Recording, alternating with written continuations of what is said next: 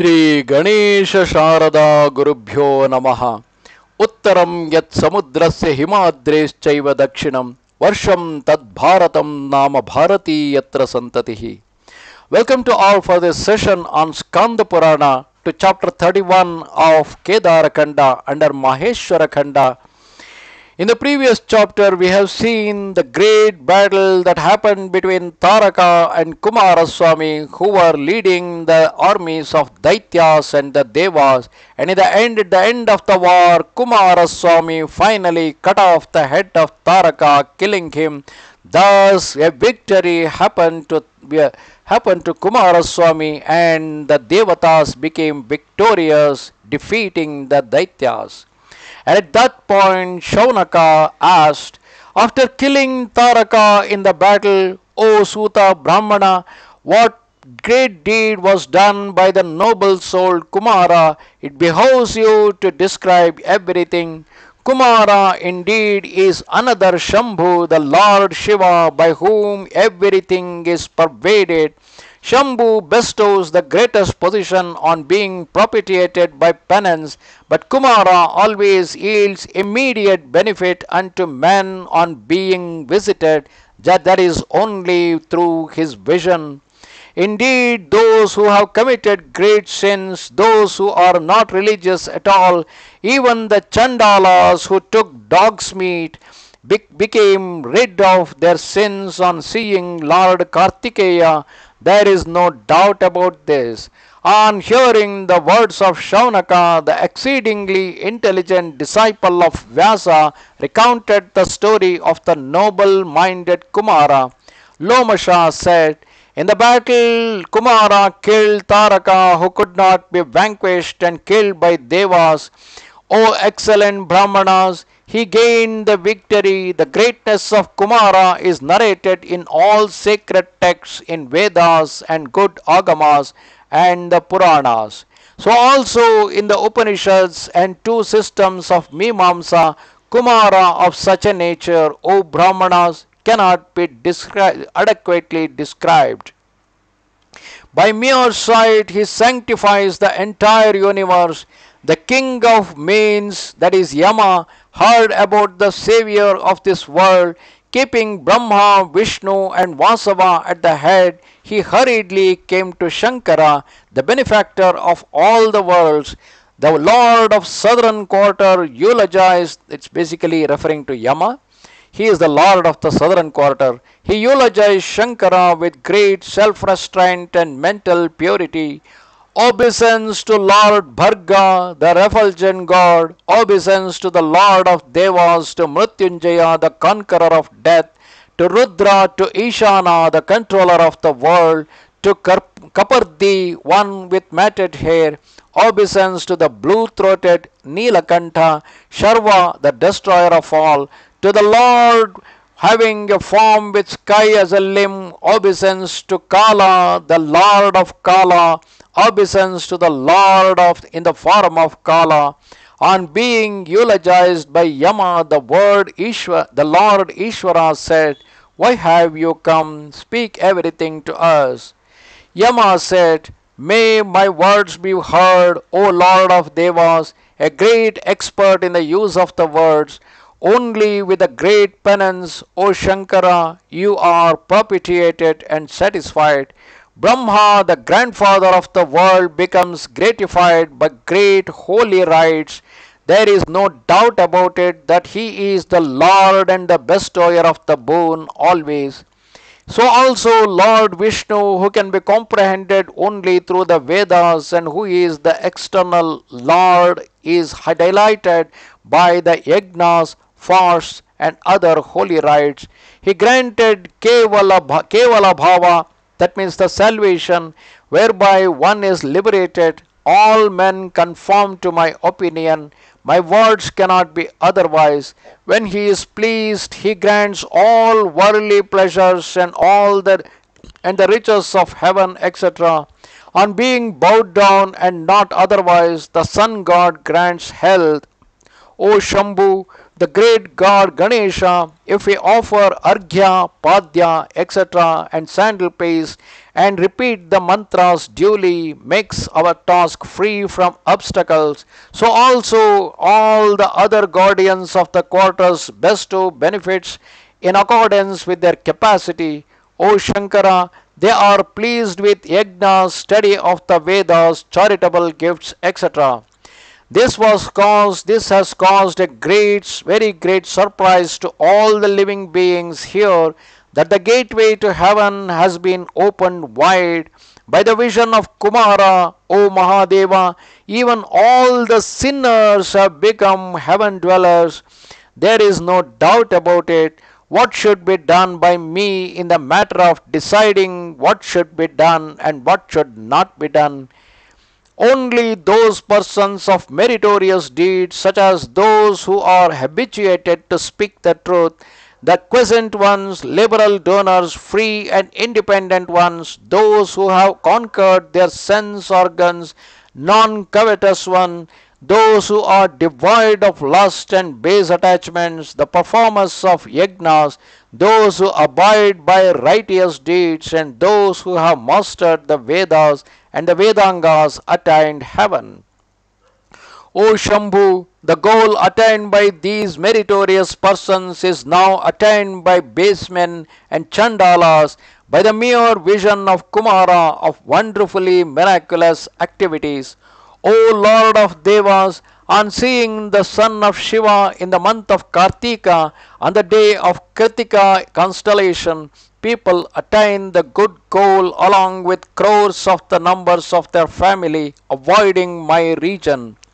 By seeing Kumara, even Chandalas attain good position immediately. What shall I do? On hearing the words of Yama, Shankara spoke these words Shankara said, There are good emotions in the minds of the people of meritorious deeds whose sins have come to an end, O Dharma. There is a great desire in them to go to the good holy spot or to visit good people. This desire is caused by previous karmas. It is only at the end of many births and rebirths that a feeling of devotion to me is generated in the minds of living beings. O Yama, it is the result of many repeated experiences in the course of many births with, the, with all feelings. Hence, all those in whom good feelings of devotion arise are meritorious ones what has been the outcome of the repeated experiences of various births need not cause surprise. Women, children, Shudras, those who took cooked dog's flesh, that's Chandalas, and base-born fellows who are born among sinners or stay with them became pure persons, O Dharma, due to the impressions of the previous births.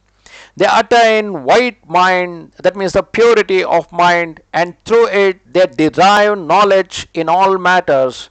Due to the previous actions and the working of fate, all become suras and the guardians of quarters, beginning with Indra.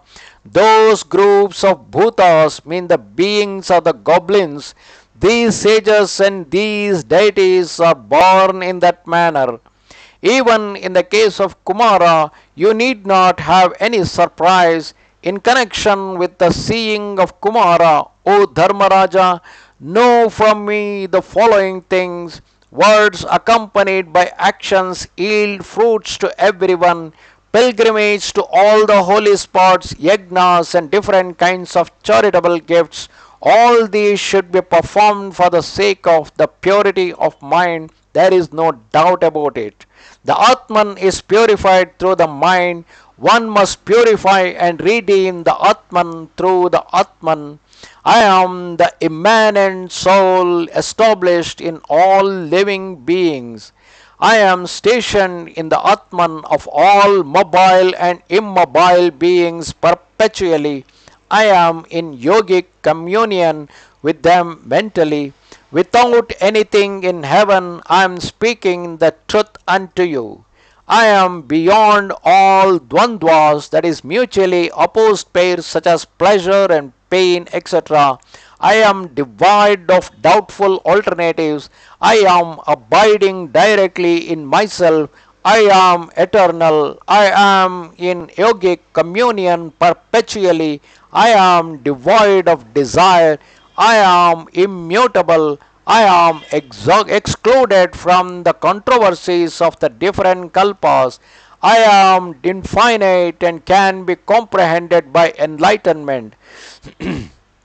All living beings are seen pursuing worldly existence because they have forgotten their Atman, which is single and characterized by enlightenment. I, Brahma, and Vishnu, we three are the causes of gunas. We are the causes of creation, sustenance, and annihilation. It, it cannot be otherwise. We are all caused by the karma enveloped by ahankara, the egotism. You people, all the devas, human beings, the birds, etc., the beasts, etc., and many others have separate existence because you all possess these gunas. You are scattered in the ocean of worldly pleasure existence. You are fallen in a mirage and you are fascinated and subdued by Maya. We all, we, all the devas profess to be learned, scholarly, and wise. We are all rogues engaged in false arguments. We blame and defame each other three gunas, the, those who have come un, who come under the control of the three gunas, three gunas are immersed in the ocean of worldly existence. They are not aware of the reality. They are persons with deep attachments to worldly pleasures. They possess lust, anger, fear, hatred, pride, and rivalry not conversant with reality, they blame and defame one another.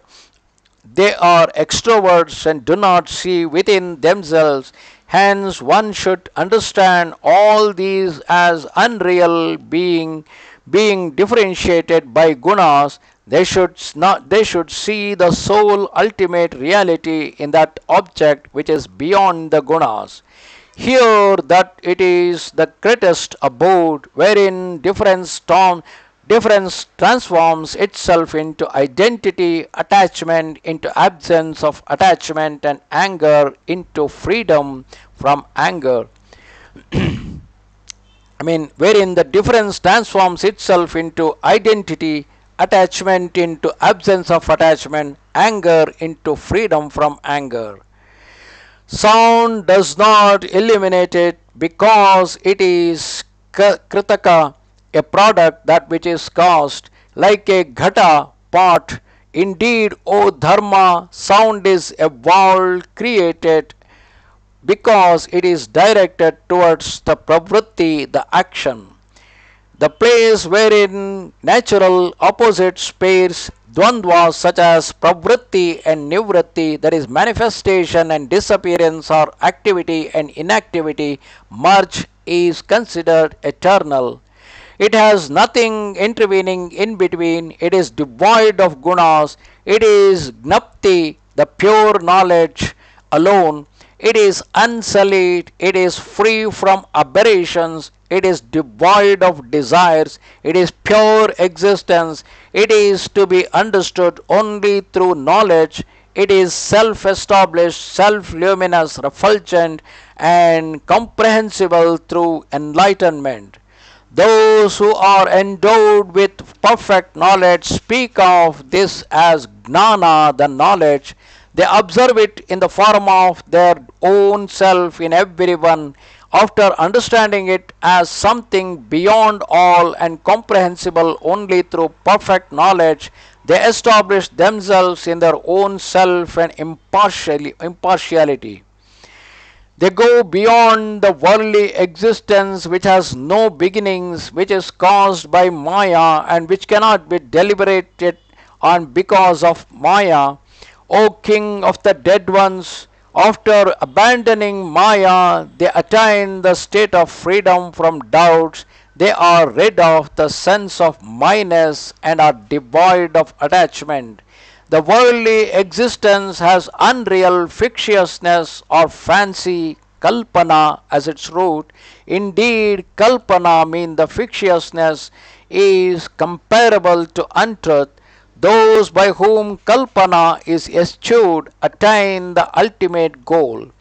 The notion of silver presumed in an oyster shell, I mean, assuming assumption of silver in an oyster shell, the notion of the rope in a tra- serpent, the notion of water in a mirage, all these are definitely unreal, not otherwise.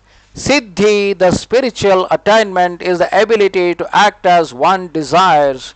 The unreal thing is dependence. One who is bound is called parat, paratantra, dependent on another. One who is liberated has a sense of freedom.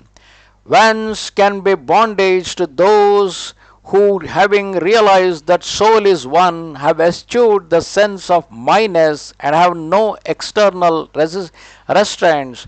The bondage is fictitious and non existent, like the sky flower or the horn of a rabbit.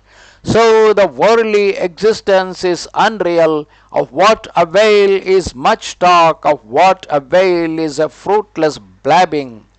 Those who are desirous of attaining the greatest region avoid mamata, feeling of myness or possession. They are the wise ones, the learned ones. They are devoid of attachment and have conquered their sense organs. Those who have cast off mamata, those who have eschewed covetousness and anger, attain the greatest region as they are devoid of love and anger. As long as lust and greed, attachment and hatred persist, they do not attain spiritual beatitude. They will know only the words of the scriptures. Yama said, Words came from the sound, but knowledge is devoid of the word or the sound. How then was it said by you, O Lord, that word is non eternal?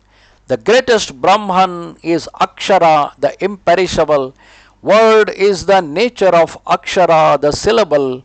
Hence it is heard that word is mentioned by you as Nirikshaka, Nirishaka, Nirikshaka, that which, which observes Whatever has to be explained can be explained only through words. How can it be explained without words? Let all these be recounted, O Shambhu, in the matter of deciding what should be done and what should not be done. Shankara then explained, Listen attentively to the truthful words of the great meaning. By hearing this, nothing should be known, nothing should be known remains that that means remains to be unknown. All the sages expound knowledge, they are devoid of sins, they repeatedly practice knowledge. Those who are conversant with knowledge know what is knowledge. It is only after knowing the three things, namely knowledge, object of the knowledge, and that which is comprehended and attained, that it can be described how and by whom it should be known and what it is, what is it that was intended to be spoken. I shall explain these things secondly. Understand it from me, the only and single one, that is Brahmana, appears to be many in the light of difference. Just as the ground viewed from the Brahma, Brahmarika, Brahmarika as the ground is viewed from Brahmarika, the merry-go-round appears to be whirling. O Yama, so also the Atman appears to be many due to the idea of difference. Sen, hence, after critically examining it, it should be known through Shravana, listening attentively. It should be meditated upon through close application of the process of manana, deliberation in particular. After comprehending the Atman, one can easily be released from bondage. This entire universe, consisting of mobile and immobile beings, is a network of magical delusion. this great existence, worldly, this great extensive worldly existence is full of Maya, characterized by Mamata, the sense of minus. After driving out Mamata, one is liberated from the bondage easily. Who am I? Who are you? When are the, where are the others? All these are based on the great Maya just like the fleshly, fleshy protuberance, protuberance from the neck of a goat, the entire world is worthless and aimless. All this is fruitless and devoid of permanent appearance. It is showy mass of smoke without any essence. Hence, with all effort, remember the Atman, O Yama. Lomasha then said, Directed thus by Shambhu, the king of the dead ones became enlightened himself and realized the Atman. He became famous as the dispenser absorbed in dispersing, dispensing the fruits of karma of all men and living beings. Sages inquired, it may be described that highly wonderful feat was accomplished by the noble souled Kumara after killing Taraka in the battle Suta then replied, When the Daitya Taraka was killed, mountains, the chief of whom was Himavan, approached there and eulogized Kartikeya with sweet words. The mountains prayed him, Obeisance to the Lord of auspicious form, we salute you, the cause of auspiciousness unto the universe. Hail to you, O kinsman of the universe! Obeisance to you, the sanctifier of the universe, the bow down to you by whom merely through your sight chandalas have been made excellent ones. We seek refuge in you, the sole kinsman of the universe. Hail to you, O son of Parvati, obeisance to you, O son of Shankara, obeisance to you, O son of Kritikas, Obeisance to you who are born of the fire god.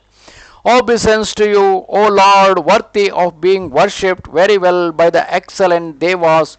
Obeisance to you, O Lord, the most excellent one among the possessors of perfect knowledge. Obeisance to you, O most excellent one among Devas.